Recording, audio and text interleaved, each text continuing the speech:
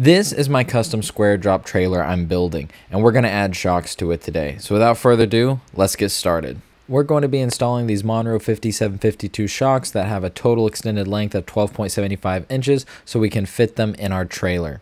To mount this shock to our axle, we're going to be using these shock tabs. I have a 1.75 inch axle, so that's what these are for. Link will be in the description to these below. If you have a different size axle or a square axle, you'll need to buy different shock tabs. Or if you don't have a welder, you can buy one of these U-bolt plates that has a shock bolt coming off of it. For our upper shock mount, I'm using these stake holders from Home Depot. I like these that you can either bolt on or weld on. But we're going to cut these wings off and weld it on, but first we need to drill a hole in the middle. Using a step bit, which is about $6 at Walmart, it's probably on its last life after three uses. We're going to drill this hole big enough for our shock bolt to mount into here. To cut the wings off, you can either use your $300 saw that everybody has laying around, or you can use that $20 grinder from Harbor Freight. I have the saw, so I used it, but you can use a grinder just as easily. Now, I am mounting this on some 2x2 square tubing, and these things are a little bit wider than two inches. So I do take a grinder and cut these out just to narrow them down so it's even on my frame. Now with our upper shock mount done, we're going to use this Dorman Help shock bolt kit. This comes with the bushings, but ours already does.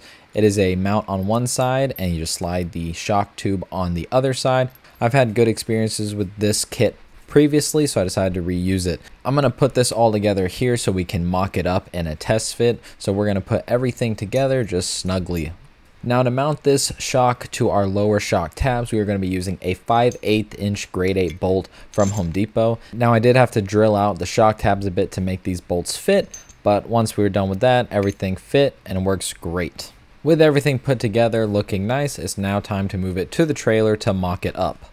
First thing you have to do here is jack up your trailer to relieve all tension off the spring so you're at your max height. Now take your shock, figure out where you need to mount it on your axle and on your frame. This will be different for everybody. You should probably measure this before you buy a shock. This is just the shortest shock available from Monroe that I could find on Amazon. Now once you've figured out your correct placement, you need to mark it so that you can grind away and weld.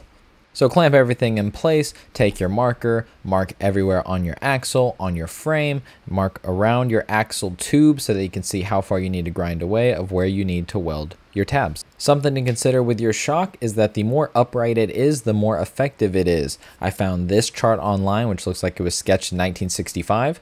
I don't know how true it is, but by judging by this chart, I'm at 52 degrees, which is roughly a D, and we all know D's get degrees. Now it's time to grind away all the paint and remember to use your PPE, use your eye goggles, your hearing protection, and your respirator if you have one. If not, go buy one because all this stuff coming off here is bad for you and your ears don't heal. Your lungs don't like this stuff in them. They don't like it. So please use your personal protective equipment when doing this and make sure you grind away everything so that you're welding on clean metal.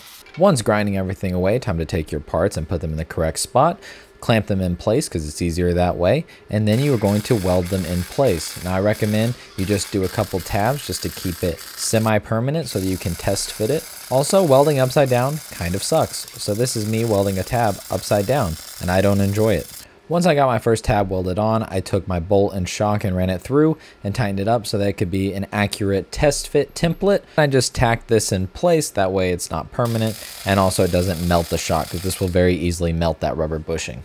Now with both mounts welded up, a little tacked in place, I wanted to test fit one more time before I fully weld anything, and as you can see, everything works perfectly. Now just remove the shock and fully weld the inside and outside of these shock tabs and then I would just weld the outside of my upper shock mount because there's plenty of area for that to be welded on. My trailer's not that heavy anyway so I'm not worried.